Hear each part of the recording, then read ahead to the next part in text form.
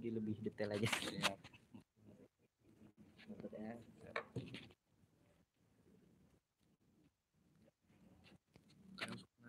Sinyalnya tuh mic virus masjid ya jadi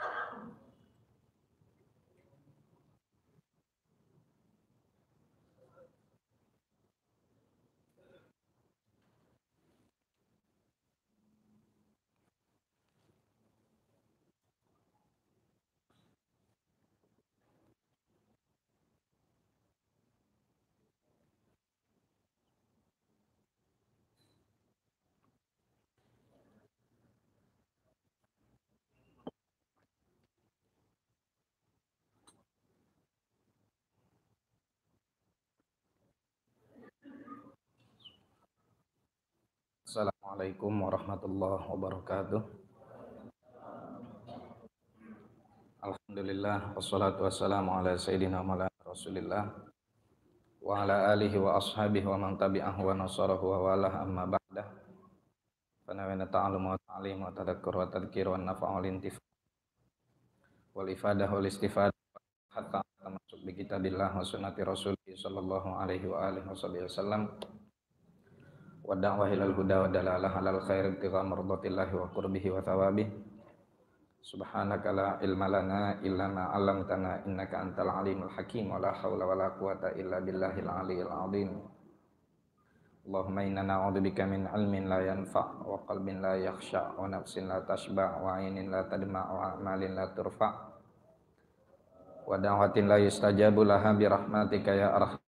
rahimin Allahumma inna nas'aluka al-ilma ladunni wal mashraba safiyal haniya wa habu ya ghani Hadratul Mukarramin segenap uh, pengurus Masjid Jami At-Taqwa para asatid, para tokoh masyarakat dan juga para jamaah sekalian yang mudah-mudahan senantiasa dalam naungan kasih sayang Allah Subhanahu wa taala. Alhamdulillah di penghujung bulan Dzulhijjah ini kita sama-sama berkumpul di baitin min buyutillah di rumah di antara rumah-rumah Allah Subhanahu wa taala dengan tujuan senantiasa kita berusaha mendekatkan diri kita kepada Allah Subhanahu wa taala. Dan kami kembali tidak bosan mengingatkan kepada para ikhwan sekalian, para jemaah sekalian yang belum niat beriktikaf, mari sama-sama kita niat iktikaf. Bismillahirrahmanirrahim. Nawaitu an a'takifa fi hadal masjidi ma dumtu fihi lillahi ta'ala. Para jamaah sekalian yang dimuliakan oleh Allah Subhanahu wa taala, pada pertemuan yang lalu kita membahas tentang nutul dari surah Al-Ikhlas dan surah Al-Ikhlas ini uh, dibawakan oleh sonif kitab yaitu Al-Habib Muhammad bin Salim bin Hafid sebagai mukaddimah atau prolog ya dalam pembahasan beliau tentang masalah tauhid. Dan kita semua sama-sama tahu bahwasanya kandungan surah Al-Ikhlas ini memang murni berbicara tentang masalah ketauhidan. Sehingga dia dikatakan sebagai thuluthul Quran. Ya. Makna dari thuluthul Quran ya makna yang terkuat dari makna thuluthul Quran adalah bahwa atau karena surah Al-Ikhlas karena Al-Quran secara keseluruhan kita bagi-bagi isinya hitungannya maka tidak terlepas di salah satu tiga pembahasan yang pertama adalah ahkam terkait dengan hukum-hukum. Yang kedua adalah al-qasas, kisah-kisah. Dan yang ketiga berbicara tentang al-tauhid. Sehingga berbicara murni tentang masalah tauhid karena ayat tidak ada sedikit pun membahas tentang hal yang lain.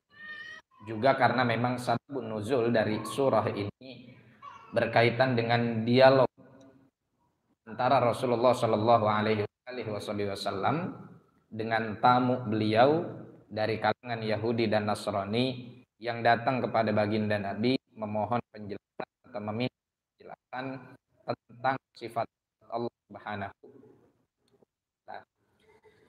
Insya Allah pada malam hari ini kita akan membahas tentang dari surah Al-Ikhlas. Ya. Allah Subhanahu wa taala berfirman, "Qul huwallahu ahad." Biasanya ketika satu ayat dimulai dengan redaksi kul maka sebelumnya ada sababun nuzul yang berkaitan dengan pertanyaan. Ya. Hingga dalam hal ini karena orang-orang Yahudi dan orang-orang Nasrani bertanya kepada Rasulullah Shallallahu Wasallam dengan redaksi mereka lana rabbak amin au min fiddah sifatilah kami Tuhanmu apa saja terbuat dari emas atau terbuat dari perak ya sayangnya di akhir zaman ini banyak Tuhan yang terbuat dari emas dan dari perak dan banyak orang yang menuhankan emas dan perak. Meskipun wajahnya tidak sujud kepada emas dan perak, tapi banyak orang di akhir zaman yang hatinya tunduk kepada emas dan dan perak. Sehingga Allah Subhanahu wa taala wahyukan kepada baginda Nabi Muhammad sallallahu alaihi wa alihi wasallam, "Qul katakanlah wahai kekasihku, wahai utusanku, huwallahu ahad. Tuhanku itu adalah Allah Subhanahu wa taala. Yang mana sifatnya sifatnya ahad. Maha tunggal. Makna ahad ini sama dengan makna wahid. Dalam bahasa Arab tidak ada perbedaan antara ahad dan wahid.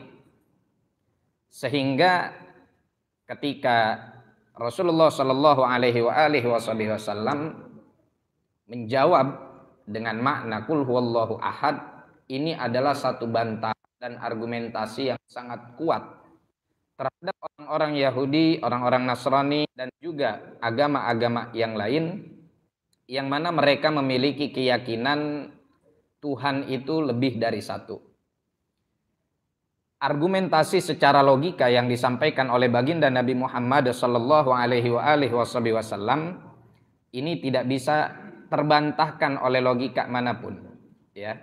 Sehingga Allah Subhanahu Wa Taala, ya, tidak perlu membuktikan dengan firman-Nya, tidak perlu membuktikan dengan firman-Nya tentang keberadaannya, cukup hanya dengan menyampaikan kul huwallahu sudah membuktikan secara utuh tentang eksistensi Tuhan Allah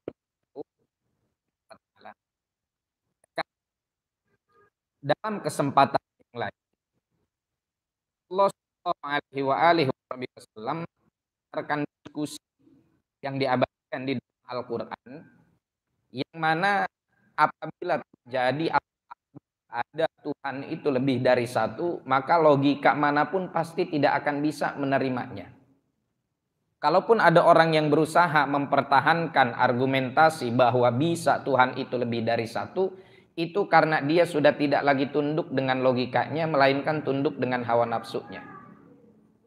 Kenapa? Al-Quran memberikan alasan sederhana. Al-Quran memberikan argumentasi sederhana bahwasanya Tuhan itu cukup satu.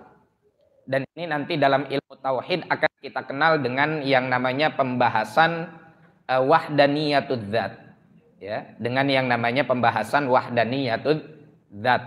Yang mana wahdaniyatud zat ini menafikan dari Allah Subhanahu wa taala al al dan kam al munfasil fidzat apa itu kam al muttasil fidzat dan kam al munfasil fidzat ini nanti kita akan bahas dalam pembahasan wahdaniyah di dalam kitab al mufidnya ya kita sekarang sedang pengen sedikit tahu aja dulu dari makna kul huwallahu ahad dengan berargumentasi seperti yang argumentasi Al-Quran sampaikan kepada kita. Ya. Allah Subhanahu wa taala melalui Al-Qur'an membantah mereka-mereka yang memiliki keyakinan bahwasanya Tuhan itu lebih dari satu. Ya, ada Tuhan bagian itu, Tuhan urusan itu, Tuhan urusan itu. Kemudian klaim mereka dibandingkan dalam Al-Qur'an amit takhadu alihatam minal ardi hum yushirun. Nah, di sini sebetulnya argumentasi sudah kuat Allah sampaikan. Apakah mereka orang-orang kafir dari kalangan apa pun menjadikan alihah banyak Tuhan. Ya bentuk singlenya itu atau dalam tatanan bahasa itu dari di dalam bahasa Arab Tuhan itu bahasa Arabnya kalau bentuk singlenya itu atau bentuk tunggalnya adalah ilahun.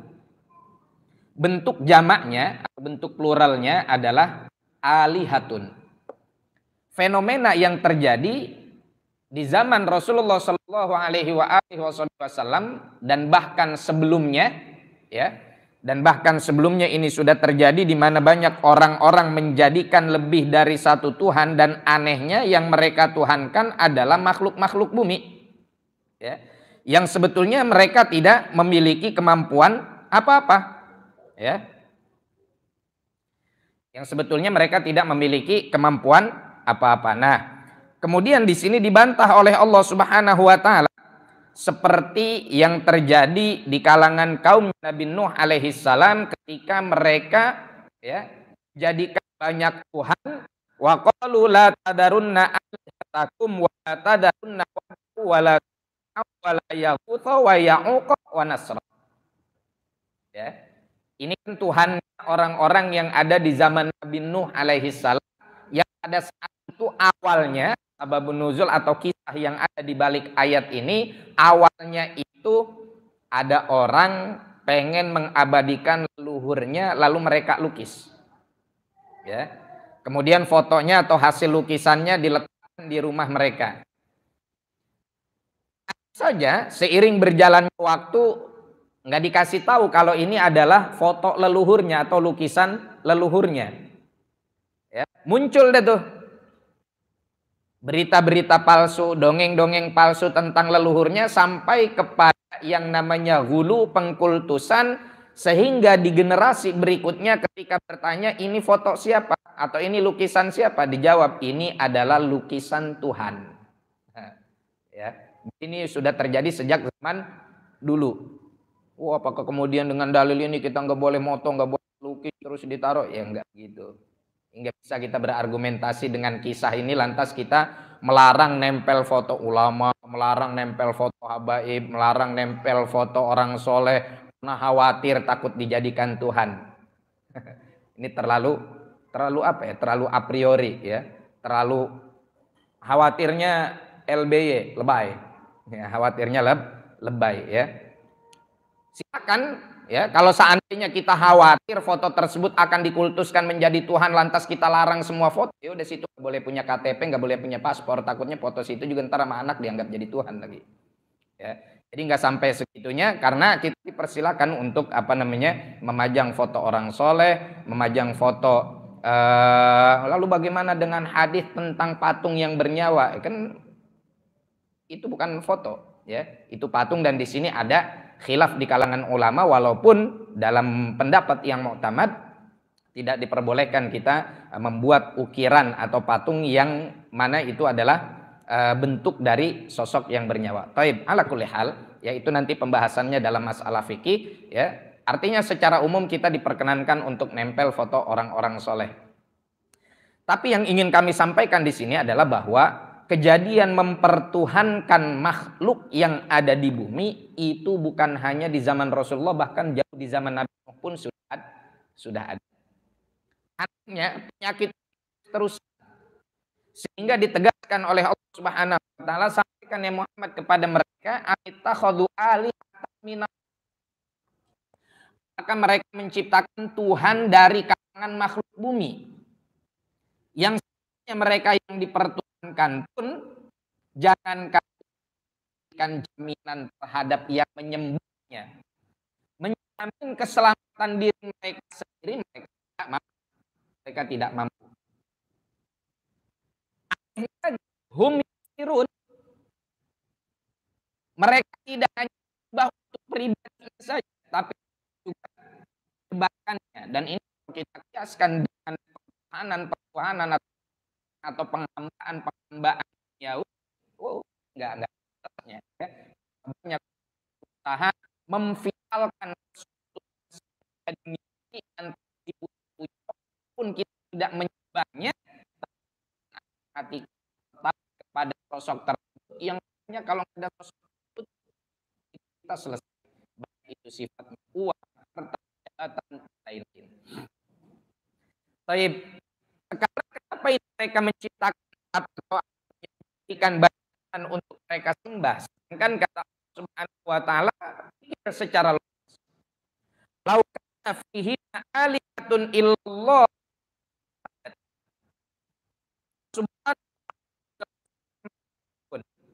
kalau seandainya di langit dan di bumi ini ada banyak Tuhan selain dari Allah, lafasadata maka bumi dan langit akan porak-poranda. Kenapa? Masuk kalau tadi kita membahas tentang wahdaniyatus sif, wahdaniyatul zat ya, ini masuk ke dalam pembahasan wahdaniyatul af'al. Karena singkatnya gini, dua sosok itu ada dua sosok di dalam atau dalam satu job desk yang sama, dalam satu jabatan yang sama, ada dua sosok yang berbeda, maka pilihannya antara dua-duanya dan ini meruntuhkan eksistensi Tuhan. Kalau dua-duanya sepakat, yang satu butuh dukungan dari yang lain. Ya, Gimana ceritanya Tuhan or apa namanya satu zat yang tersifati dengan sifat ketuhanan tapi masih butuh dukung dukungan. Sedangkan nanti Allah akan bahas di dalam ayat yang selanjutnya Allahus Somad. Makna Somad itu di antaranya semuanya yang butuh kepada Allah. Dan Allah nggak butuh kepada siapa-siapa. Sekarang kalau ada dua Tuhan yang berbeda, pilihannya imma antara dua-duanya sepakat terhadap satu keputusan Oh, berarti kalau dua-duanya sepakat terhadap satu keputusan, dua-duanya tidak sempurna sebagai Tuhan. Kenapa dua-duanya tidak sempurna sebagai Tuhan? Karena salah satunya ya atau bahkan dua-duanya butuh kepada dukungan yang lain. Atau pilihan yang selanjutnya dua-duanya sepakat. Dua-duanya tidak sepakat, tidak sepakat. Maka berarti dua-duanya akan berantem bahasa kata gitu akan berebut eksistensi akan berebut kekuasaan. Siapa yang menang berarti dialah yang tersifati sebagai Tuhan. Maka akan kembali lagi kepada kaidah awal Tuhan itu mesti satu. Yang menang inilah yang jadi Tuhan karena dia sempur sempurna. Ya. Coba kita bayangkan jangan dalam urusan ketuhanan, ketua DKM masjid isinya dua. Kita sudah sering dihadapkan ada istilah dua lisme. Ya. Dalam satu organisasi, dalam satu kepengurusan ada yang namanya dualisme. Ya. Yang satu dipegang oleh sini, yang satu dipegang oleh sini, ya. Akhirnya beda dah tuh ketentuannya. Ya yang satu bikin liga sendiri yang bikin tapi sama-sama nah, lembaga atau organisasi yang sam yang sama nggak bisa segitu aja berantakan ya segitu aja berantak berantakan coba bayangin logika sederhana ada Tuhan langit ada Tuhan bumi ya kita bukan sedang bicara atau bukan sedang apa namanya ini perlu saya jelaskan juga karena disiarkan secara langsung bukan sedang menghina orang yang memiliki keyakinan demikian. Kita sedang meluruskan pemahaman kita sebagai mus muslim. Inilah yang kita yakini. Inilah yang kita yakin, yang kita yakini adapun orang-orang lain di luar sana yang memiliki keyakinan lain, lakum dinukum waliyadin. Tapi kita sedang berargumentasi terhadap keyakinan kita. Taib. Karena sekarang mah gampang banget orang nuduh-nuduh ya. Cuman masalahnya ya saya belum terkenal aja gitu kan. Jadi nggak ada yang nyari-nyari kesalahan. Kalau udah tenar juga mungkin dicari-cari kesalahannya. Makanya saya nggak mau tenar. Cukup begini aja deh humul aja. Nggak mau tenar. La ilaha illallah. Kita bayangkan dengan logika sederhana. Masing-masing jadi Tuhan di tempat yang berbeda, bukan dalam urusan Tuhan bumi. Ya udah, bagi-bagi job desk deh. Bagi-bagi protap, bagi-bagi program kerja. Yang di bumi ngurusin urusan bumi. Yang di langit ngurusin urusan langit, yang di bumi ngurusin tumbuhan, ngurusin air laut, ngurusin apa segala macam, yang adanya di bumi, yang di langit ngurusin bintang, ngurusin planet, gimana biar nggak tabrakan, ya kan? Ngurusin pajak satelit, bayar ke siapa tuh pajak satelit misalkan, nah, lain lain lain lain. Terkait muhajatan, baiklah. Misalkan ini mas, jangan Ubaidillah, masa kita contoh ya, Fulan minnas pengen hajatan. Aduh, datang ke Tuhan bumi. Tuhan bumi minta izin, saya mau hajatan nih hari Sabtu, biasa ya. Harkonas, hari kondangan nasional. hari kondangan nasional. Masya Allah, sedekah mulu kita mau orang hajatan nih. Taib, apa yang Anda inginkan? Saya pengen nggak usah muluk-muluk dah, penter aja. Tahu penter, Pak? Nggak hujan, terang ya biar kita hajatan nggak kehujanan. Sedih kalau kehujanan takut nggak balik modal. Ya kan udah sewa EO sini udah fitting baju ini udah mesen catering di sini. Kenapa nggak ngadain di gedung aja? Ya namanya juga persediaan tipis. Jadi cukup pakai tenda RW cukup pakai tenda tenda RW yang tiga hari lalu habis dipasang buat buat nyelawat. Terus ente minta apa? Ya itu dia, saya minta itu aja dah udah. Nggak ada lagi? Nggak. Ya udah saya minta tanggal sekian saya mau hajatan jangan turunin hujan. Koordinasi nih Tuhan bumi sama Tuhan langit. Oh Tuhan langit. Tanggal sekian tolong ya. Wilayah Cikupa Citra Raya jangan dihujanin. Ini ada hamba yang mau hajatan dengan ngasih sogokan tadi. Kata Tuhan langit dilihat jadwalnya, wah nggak bisa. Hujan kan urusan saya dan ini tanggal sekian schedule-nya memang harus hujan di daerah Cikupa. Memang harus hujan. Ya tolong jangan dihujanin dulu.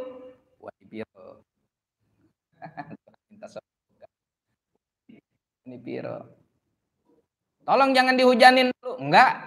Ini udah terschedule harus hujan. Tapi saya nggak rela bumi saya ketetesan air dari kamu. Kita juga nggak rela nampung nih air udah ke apa yang terjadi? Udah besok tiba muncul di detik.com kita baca teman-teman ribut. Gara-gara orang pengen hajat, pengen hajat. Itu loh sederhana bagaimana sesuatu itu akan bermuara kepada zat yang satu untuk mengatur semuanya. Dan gak ada segala sesuatu pun yang berjalan di dunia ini secara asywa'i. Bahasa Arabnya tuh asywa'i apa bahasa Indonesianya ya? Eh, secara random, secara ren, random, kebetulan, nggak mungkin. Semua harus diat, diatur. Makanya aneh logika ketuhanan yang menyatakan bahwa alam ini tercipta secara sudfa, secara kebetulan. Dari gas numpuk, numpuk, numpuk, meledak. Ya emang kalau numpuk meledak nggak usah jauh-jauh masuk ke alam atau masuk ke ban di perut aja kalau udah numpuk meledak. Lalu terjadilah secara secara random. Pasti ada yang mengatur. Segala sesuatu kalau yang namanya random pasti gak usah ngurusin planet. Dengan perputaran mereka pada orbitnya. Nih lampu merah Cikupa, matiin aja dua jam. Ayo, kalau nggak ada Pak Ogah di situ, apa yang terjadi? Nggak mau pada ngalah. Apalagi tahu sendiri pengendara Indonesia, ya kan? Nggak ada yang mau ngalah. Waduh, satu akhirnya menimbulkan Kemacetan itu contoh dari sesuatu yang terjadi secara random apabila tidak ada yang mengat yang mengatur. Maka segala sesuatu yang ada di dunia ini ada zat yang mengatur itu semua. Ya, inilah Allah Subhanahu wa taala. Qul huwallahu ahad. Maha tunggal, ya. Maha tung, Maha tunggal dan tidak ada sekutu baginya la syarikalah Taib. Yang selanjutnya Allahus Somad. Apa itu makna as-somad? Nah, ulama banyak memiliki akwal ya. banyak memiliki pendapat dalam makna as-samad. Di antaranya Qala Sya'bi alladzi la ya'kulu wa la. Makna as-samad itu adalah zat yang tidak makan dan tidak minum. Ya. Atau la ta'khuduhu sinatun wala naum. Itu juga termasuk makna as-samad. Ya. Kemudian di antara makna as-samad adalah huwa sayyidul ladzi qad kamula fi jami'i anwa'is su'dad sebagaimana di apa namanya diriwayatkan oleh Al Imam At-Tabari dari Sayyidina Abdullah bin Abbas radhiyallahu taala anhu bahwa makna as-samad adalah ya sayyid ya satu apa namanya komandan lah ya yang sempurna bentuk sifat dan kecintaannya itu di antara maknanya kemudian Sayyidina Sa'id bin Jubair seorang tabi'in yang agung memaknai as-samad adalah huwal kamil fi jami'i sifatihi wa af'alih. As-samad adalah sosok yang sempurna dalam setiap sifat dan juga tindakannya. Ya. Kemudian di antara makna as-samad adalah as-sayyidul maqsudu fil hawaij. Satu zat, satu sosok yang menjadi tujuan pada setiap kebutuh kebutuhan. Ya, ini makna as makna as-samad. Wa qala Qatadah, menurut Al-Imam Qatadah makna as-samad adalah al-baqi ba'da fana'i khalqih. Satu zat yang tetap eksis, yang tetap abadi setelah seluruh makhluknya setelah seluruh makhluknya fana. Makanya Allah punya sifat yang namanya al-baqa'u. Ya, wujud, tidam, bako. Terus apa lagi? Qala Ikrimah, as-samad alladhi laisa fawqahu ahad. As-samad itu adalah satu zat yang tidak ada yang melebihi dia. Enggak ada yang menandingi. Ya. Juga di antara makna as-samad dikatakan oleh Imam Rabi' Alladzi la ta'tarihil afat. Yang enggak punya namanya bencana, enggak ters, enggak tersentuh atau tidak terliputi kebencanaan, tidak terliputi kelupaan, tidak terliputi segala macam kekurangan. Ya. Wa qala Muqatil bin Hayyan dan kata Imam Muqatil bin Hayyan as-samad itu adalah uh, alladzi la aiba zat yang tidak memiliki cat Ya. Ini adalah makna as makna as-samad. Sekarang kita buktikan ya. Siapa sih zat yang semua yang ada di alam semesta ini kebutuhannya bermuara kepada Siapa zat di alam semesta ini yang sifat dan perilakunya tidak ada yang bisa menandinginya. Siapa zat yang ada di alam semesta ini yang tidak punya kekurangan aib dan cacat sama sekali. Taib dalam tingkahnya, dalam perbuatannya, dalam ketentuannya, Allah Subhanahu wa taala tak ada satupun sosok yang menandingi. Kalau kita sebut satu dari raja-raja atau para penguasa-penguasa di muka bumi ini, pada akhirnya kekuasaan mereka akan sirna. Pada akhirnya kekuasaan mereka tetap ada yang menandingi, tetap ada yang mengalahkan. Lihat bagaimana pongah dan gagahnya Fir'aun. Uhuh. Siapa yang bisa menandingi Fir'aun di masanya? Orang tunduk kepadanya. Semua orang nurut dengan ketentuannya. Sehingga dia berani mengaku sebagai Tuhan. Ana rabbukumul a'la. Saya adalah Tuhan kalian yang paling agung yang paling agung kok pengen ngintip Tuhan Nabi Musa minta dibikinin tangga. Minta dibikinin menara. Ya Hamanu benili sorha. La'ali attali'u ila ilahi Musa. Hei Haman, kamu saya kasih surat tugas me, apa namanya? menanggulangi atau kamu saya kasih surat tugas untuk menyelesaikan sebuah proyek yang besar di negeri ini. Apa proyek? Bikin menara yang tinggi. Saya mau ngapain? Pengen ngintip Tuhan Musa. Fir'aun tuh kerjaannya ngapain? Bikin proyek yang sia-sia. Ya, makanya kalau bikin proyek jangan yang sia-sia. Takut ngikutin Firaun. Bikin proyek yang bermanfaat masyarakat, buat umat yang tidak berdampak kepada lingkungan bagi masa depan, ya. Kalau kita hanya mengedepankan obsesi hawa nafsu kita dalam bikin proyek A, B, C, D, waduh, udah ini. Punya darah Fir'aun takutnya. Alhamdulillah min dalik. Siapa pun itu, ya. Kita dalam rumah tangga kita, ada nggak proyek yang sia-sia? Kalau ada proyek sia-sia, tinggalin. Ya. Bikin proyek yang bermanfaat, bikin proyek yang dasarnya adalah ittiba Rasul. Bikin tuh proyek di depan kamar mandi temboknya tempelin sunnah-sunnah masuk kamar mandi. Itu proyek baru bermanfaat dunia akhirat. Sehingga setiap kali yang mau masuk ke kamar mandi tahu, oh sunnah masuk ke kamar mandi pakai sendal. Sunnah masuk ke kamar mandi kaki kiri dulu. Sunnah masuk ke kamar mandi pala tertutup. Sunnah masuk ke kamar mandi baca doa. Itu itu baru namanya proyek yang menghasilkan dan bermanfaat. bermanfaat. Ini apa proyeknya? Kamar mandi alirkan saluran wifi.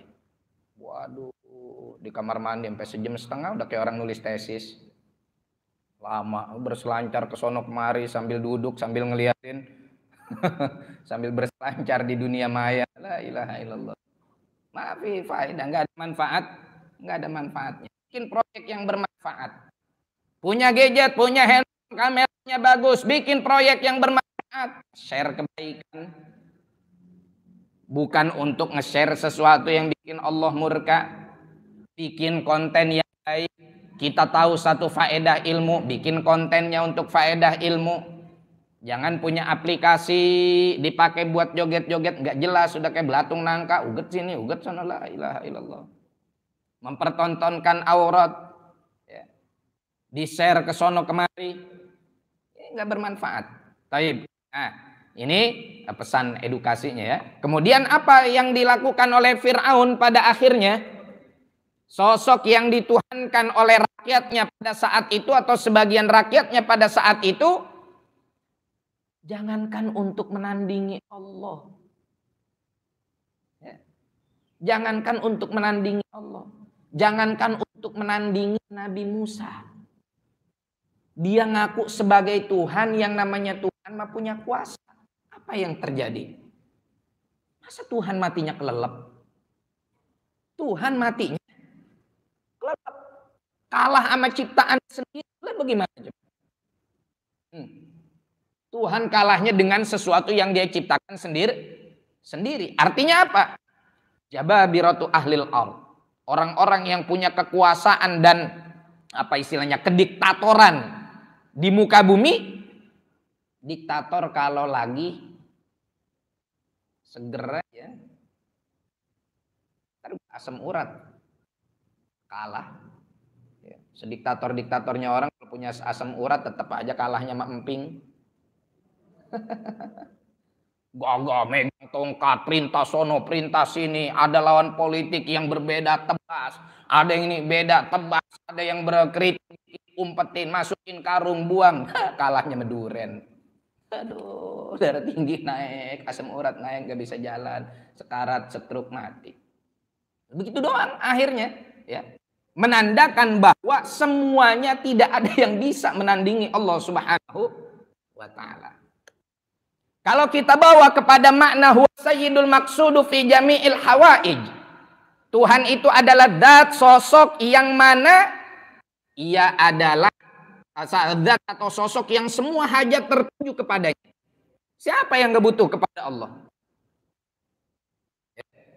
Dan bahkan orang ateis sekalipun, orang ateis sekalipun yang enggak punya Tuhan atau bukan enggak punya Tuhan, enggak percaya Tuhan, kalau mereka sedang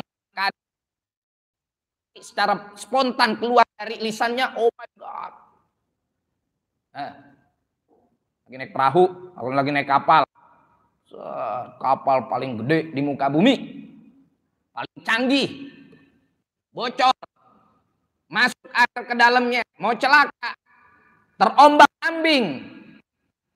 Secara fitrah lisan dia mengucapkan, Ya Tuhan, help me, help me.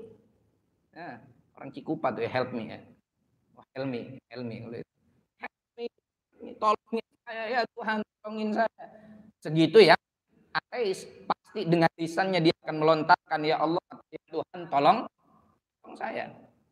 Ya. Ini sebagaimana Allah Subhanahu wa taala di dalam surah Luqman wa idza ghasyahum maujun kadzulali da'ullah mukhlisina lahuddin. Ya. Orang-orang kafir ini, orang-orang yang percaya dengan Allah atau mereka yang ateis nggak percaya dengan Tuhan, kalau mereka sedang ada di lautan, lalu mereka terhempas dan terombak yang namanya yang besar apa yang mereka lakukan? Da'ullah. Mereka akan panik lantas berdoa kepada Allah. Ya Tuhan, tolong kami. Dari lubuk hati yang paling dalam. Selamatkan kami. Masya Allah, aja belum naik di sertifikat. Bang di deposito masih banyak. Selamatin kami. Udah, butuh dia kepada Allah Subhanahu wa taala. Cuma sayangnya, sayangnya apa kata Allah? Falamma najahum ilal barri faminhum muqtasid wa ma yajhadu bi ayatina illa kullu khattarin kafur. Pas udah diselamatin oleh Allah Subhanahu wa taala di antara mereka ada yang bangor. Tahu bangor? bahasa Polisi buangor, bandel. Dia lupa tuh tadi sama kesalahan yang sama apa namanya sama pertolongan Allah, balik lagi, dorna lagi. Balik lagi, nakal lagi, balik lagi, maksiat lagi. Ya kan? Naik motor sama pacarnya. Gak usah jauh-jauh deh. Tilang sama polisi. Habis ditilang sama polisi, apa yang terjadi? Ya Allah tolongin saya pak. Ya Allah tolongin saya pak. Yaudah lewat. Dipelukan lagi. Alhamdulillah bebe kita selamat. Alhamdulillah lagi ngomongnya. La ilaha illallah. Kalau sama bini ngomong begitu nggak apa-apa. Begitu. Kasih nikmat apa oleh Allah. Ya. Nah, ini kalau kita ambil kepada makna as-sayyid al-maqsudu fil hawaij.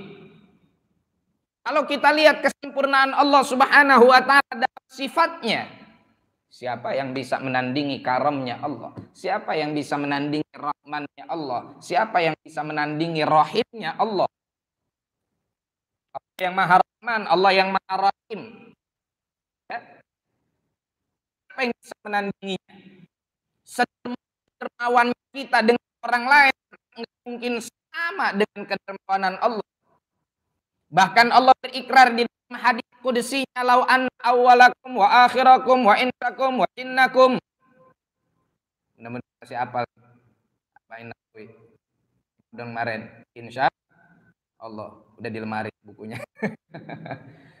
lau anna awalakum wa akhirakum kalau semua makhluk dari yang pertama aku ciptakan sampai yang terakhir ada wa insakum wa jinnakum dan dari kalangan jin dan manusianya Qamu ala sahidin wahid. Mereka berdiri di atas satu bukit bersama tumpah dua.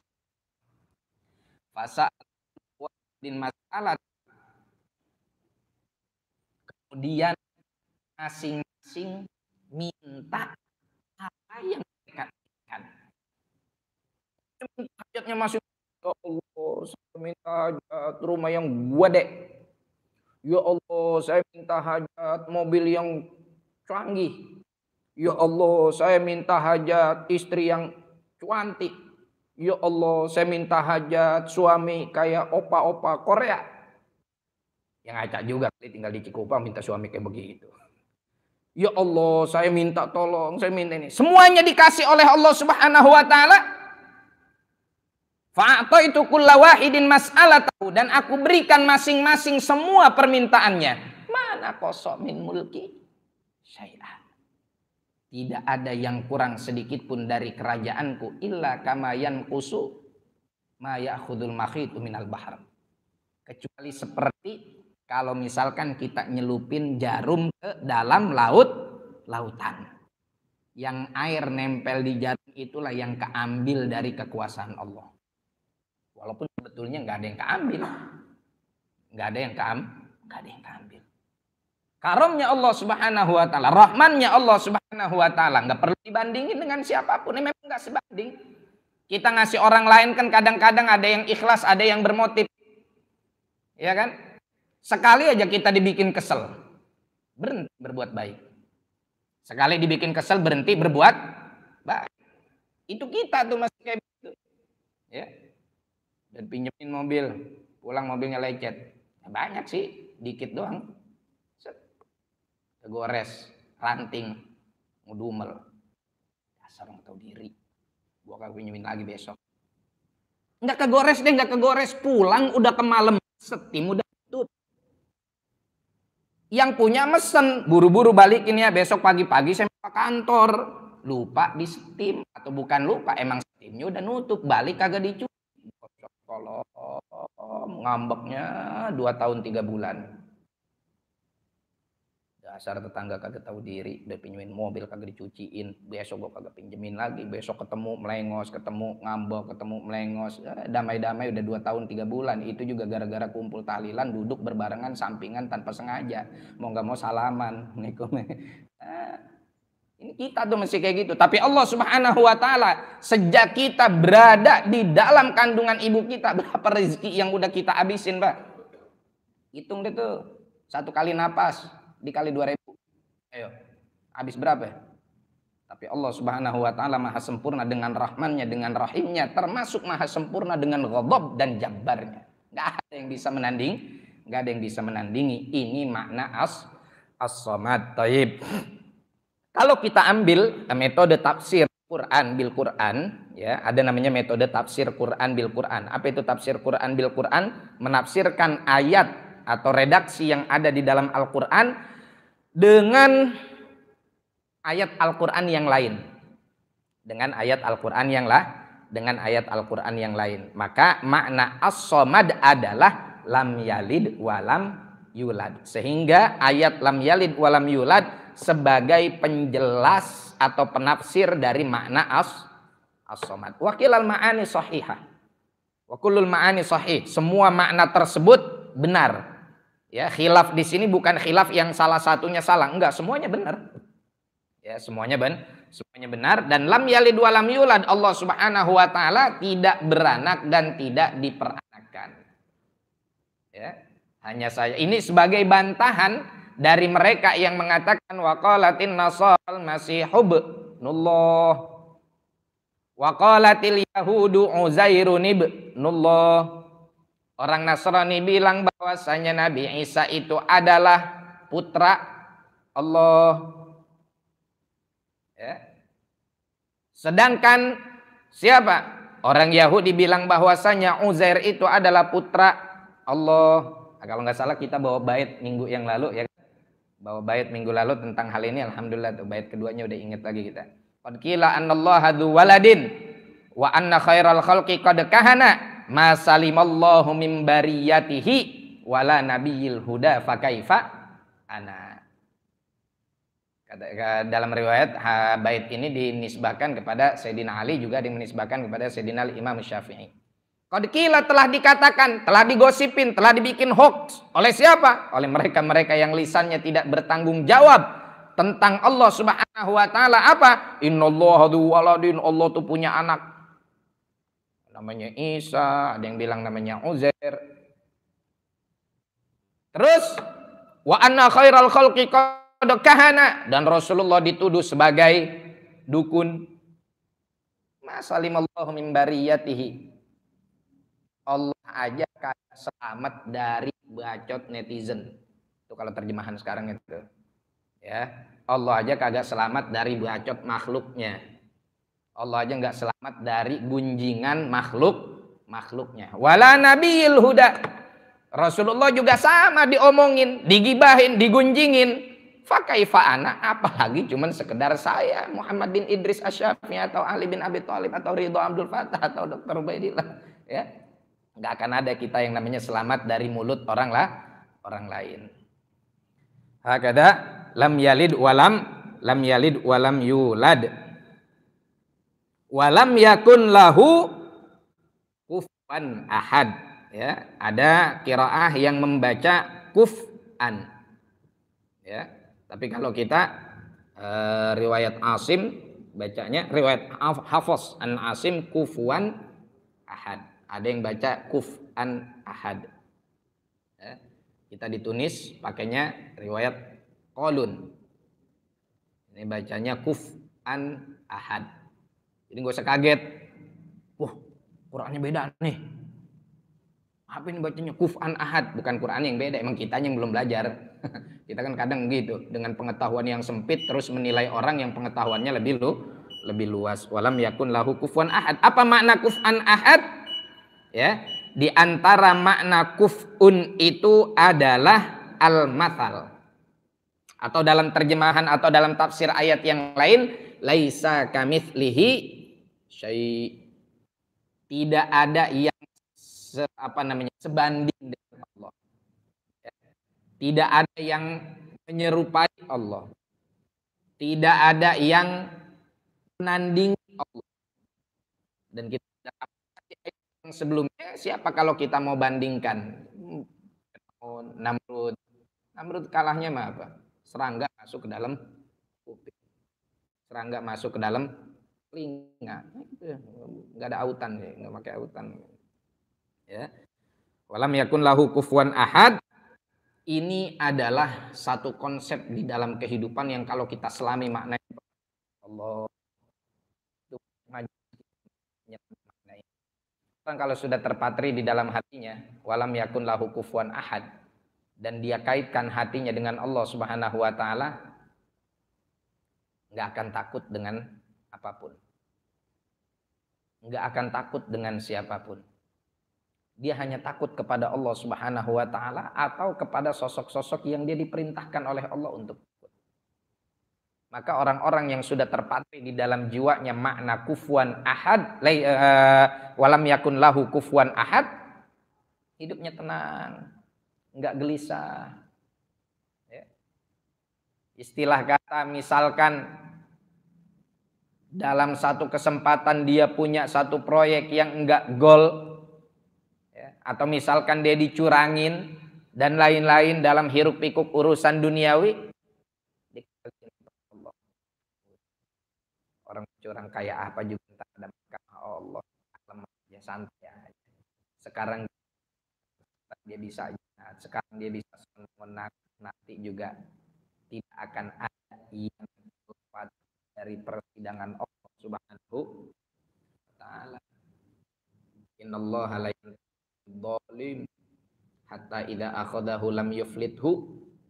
Sesungguhnya Allah Subhanahu wa taala akan membalas dendam kepada mereka-mereka yang berbuat dolim. Dan kalau udah dikekel oleh Allah, uh, nggak akan dibebaskan. Hatta yuqada lisyatil jalha'i minasyatil qarna Keadilan Allah meliputi bahkan Allah akan membalas domba-domba nakal. Siapa domba-domba nakal? Domba yang bertanduk, yang suka nyerudugin domba yang kagak bertanduk. Domba bertanduk nih cengkerek nih kalau kata orang Betawi cengkerek itu mau menang sendiri. Nakal sama siapa aja. Lihat domba tanduknya diruduk sama dia.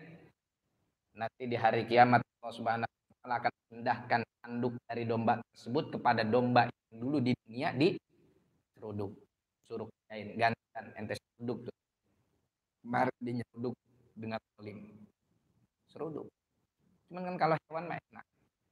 Habis itu apa? Selesai persidangan kuno turoba Allah jadikan semua hewan tersebut menjadi tanah menjadi debu.